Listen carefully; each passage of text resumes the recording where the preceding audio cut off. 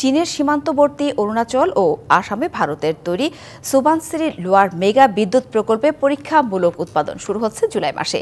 মঙ্গলবার জলবিদ্যুৎ প্রকল্পের কাজ আনুষ্ঠানিকভাবে শেষ করেছে ভারতের রাষ্ট্রায়ত্ত জলবিদ্যুৎ সংস্থা national hydro electronic power corporation, NSPC. দু হাজার তিন সালে এই প্রকল্পের কাজ শুরু হয়।